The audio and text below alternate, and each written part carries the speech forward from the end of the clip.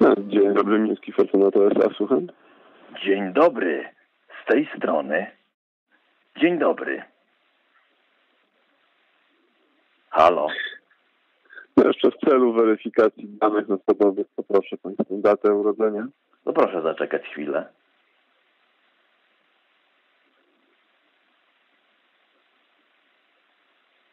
Halo, jest pan tam?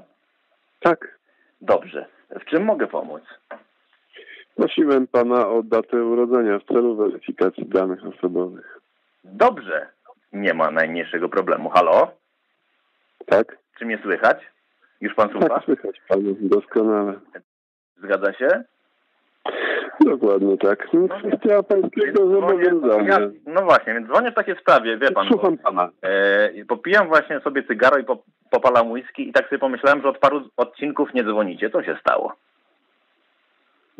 Czyli dalej m, m, próbuje Pan być zabawny, tak? Ale ja nie, no ja nie jest- jestem zabawny. Ja chciałem się dowiedzieć, czemu nie dzwonicie.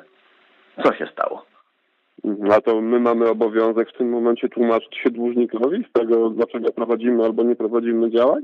No, słyszałem obietnicę, że będziecie dzwonić codziennie, od paru odcinków cisza. Co się dzieje? Niech pan powie.